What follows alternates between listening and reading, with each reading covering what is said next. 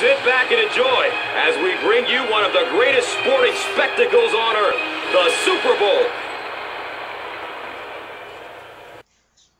Okay, guys, this is a single back big corner strike. If you ever wonder when you press somebody and they're always open no matter what, this is what people do, man.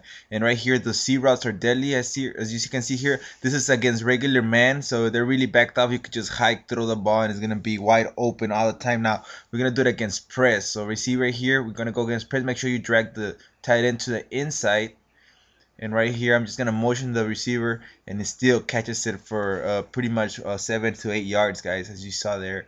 Uh, sometimes you could even go for a touchdown. Now people start lurking to the outside. All you have to do is just throw it to the drag going out with the running back as you can see here and can still get a really really good yardage guys. Uh, hope this tip was helpful. This is from the Pittsburgh Steelers. Madden All Stars and MaddenStation.com so go check them out